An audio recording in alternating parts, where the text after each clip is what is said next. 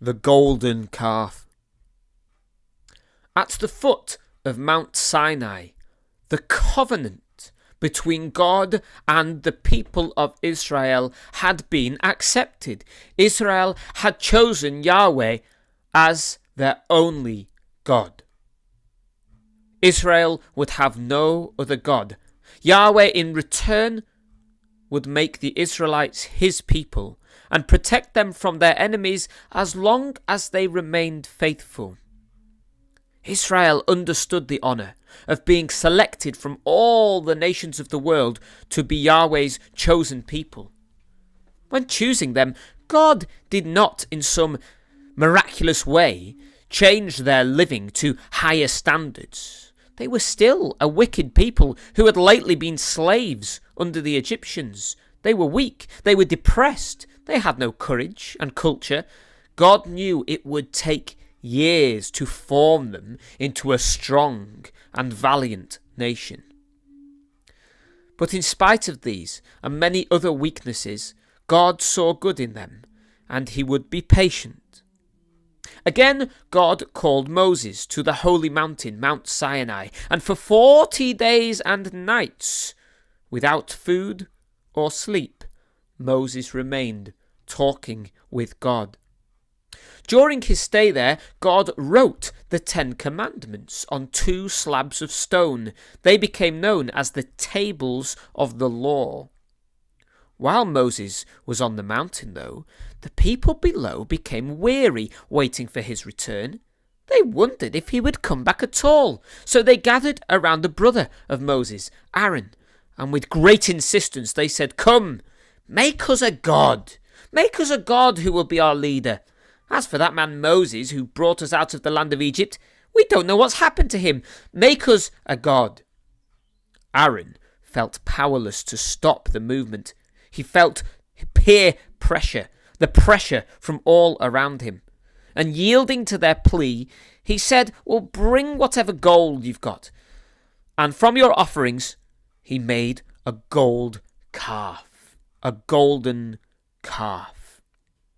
Now, they intended this image to stand for the one true God, to be a symbol of the God whom they worshipped, just as the Egyptians made so many statues of different animals to worship their gods. And so before this statue they cried, This is our God, O Israel, who brought us out of the land of Egypt.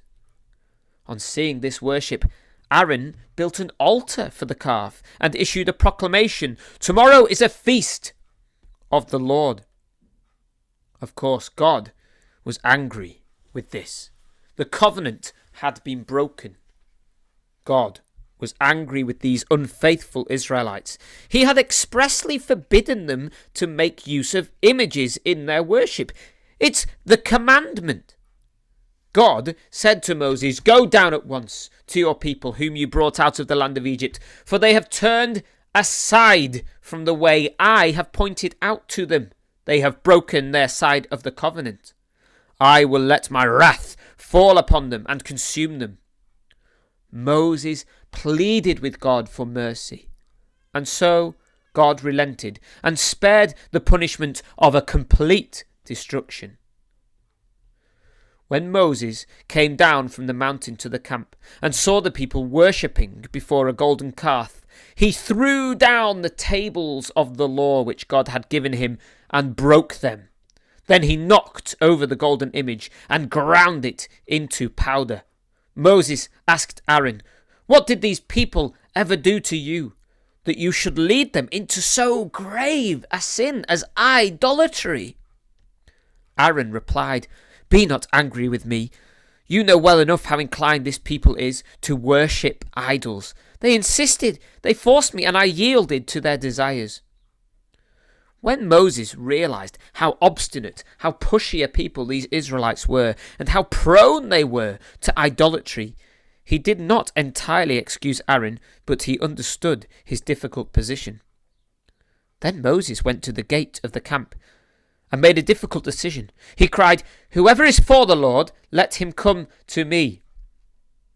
All the Levites all the Levites rallied to him. And he said to them, Take your swords.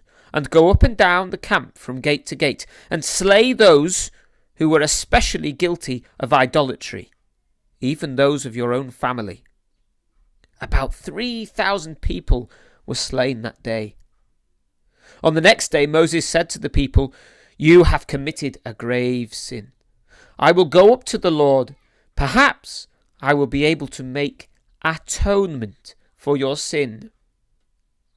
So Moses went back to the Lord and said, This people has indeed committed a grave sin in making a god of gold for themselves. Forgive their sin. If you will not, then strike me out of the book you have written. Strike me instead of them. The Lord answered, Him only who has sinned against me will I strike out of my book. Now go and lead the people where I have told you. My angel will go before you. When it is time for me to punish, I will punish them for their sin. And so the Lord God punished the people for having Aaron make the calf for them.